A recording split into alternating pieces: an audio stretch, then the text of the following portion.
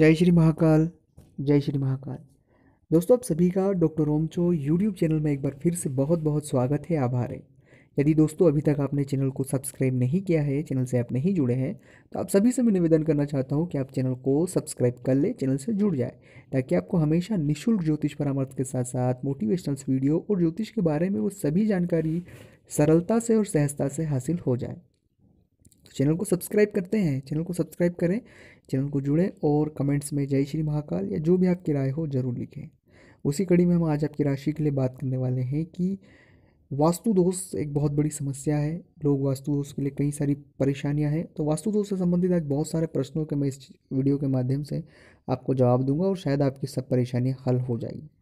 सबसे पहला जो एक भ्रम है दक्षिणमुखी घर का दक्षिण मुखी घर है। दोस्तों बहुत गलत भ्रम है ये। एक बात सबसे पहली बता दूँ दक्षिण मुख का जो ग्रह है वो लगभग हमारे देश के 80 से पिछहत्तर प्रतिशत लोगों पर वो फलीभूत होते हैं। मतलब वो अच्छे होते हैं। उसमें जीवन में बहुत सारी परेशानियाँ हैं तो वो परेशानियाँ हल हो जाती है।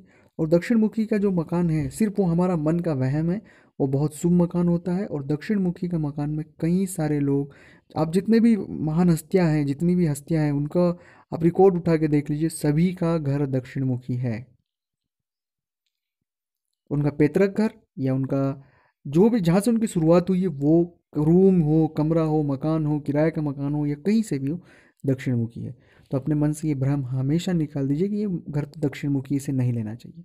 दोस्तों, मेरा व्यक्तिगत अनुभव है ज़िंदगी का कि दक्षिण मुखी घर, मैंने अनुभव किया रिसर्च किया कि दक्षिण मुखी जो घर है, वो हर व्यक्ति को, भारतीयों को, खासकर भारतीयों को बहुत ज़्यादा फलीभूत है। चाहे वो किसी भी देश में रहे लेकिन वो भारत के वासी हैं या जो हमारी जो कंट्री है, जितना भी नेपाल हुआ, भारत, अफगान, ये जो एरिया है हमारा, जो भारत है, पूर्व अखंड भारत, वो एरिया के जो लोग हैं, उनके लिए खासकर।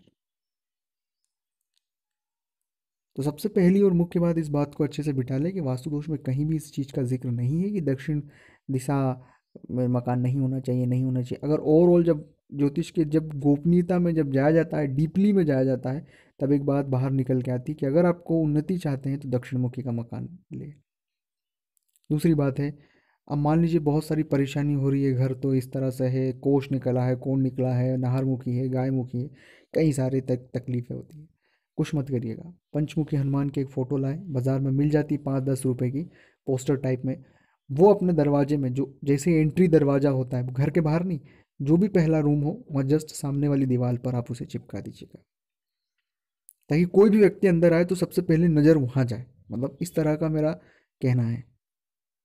तो अगर दोस्तों आप ये करते हैं तो सभी वास्तु दोष आपके निवारण हो जाएँगे। तो अगर वीडियो अच्छा लगा हो तो लाइक करें, शेयर करें, चैनल को सब्सक्राइब करें और अपना कमेंट ज़रूर करें। जय श्री महाकाल, जय श्री महाकाल।